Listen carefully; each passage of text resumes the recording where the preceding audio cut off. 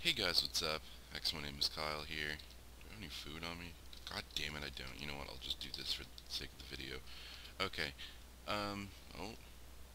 Yeah, we, we're working on a pixel art of Magic Magikarp 3D-ish. I don't know what that's supposed to be. That was made after I logged off.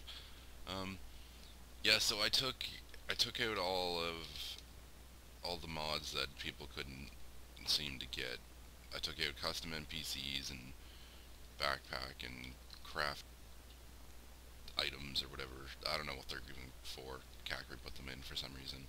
So now it's just the Pixelmon mod and the Forge loader thing. So you can either do it two ways. You can do the mod pack the way I did it, which the link will be in the right for that.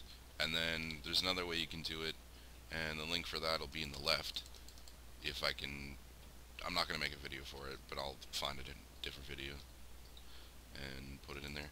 So, thanks guys for watching. Actually, you know what? I'll just show you all my Pokemon. I got a shiny camera up. I got an Espeon. Big old dirty Espeon there. I got my Dragonite.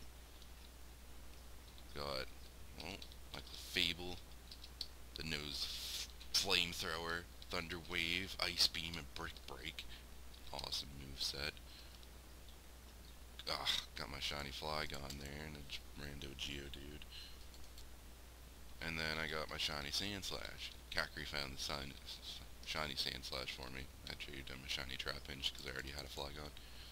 And then some other guy found this, and I traded him a bunch of stuff for it. Uh, Alright guys, thanks for watching. Click the links to download and come play the server with us. Bye!